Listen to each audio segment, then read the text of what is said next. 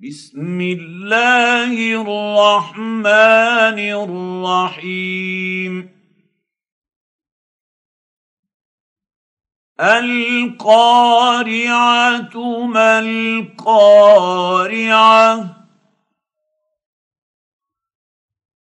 وما أدريك ما القارعة؟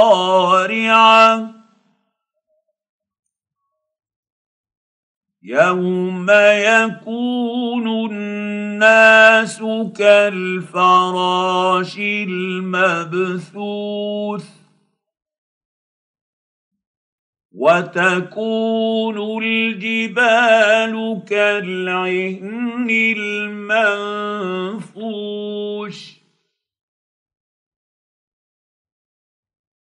فاما من ثقلت موازينه فهو في عيشة راضية.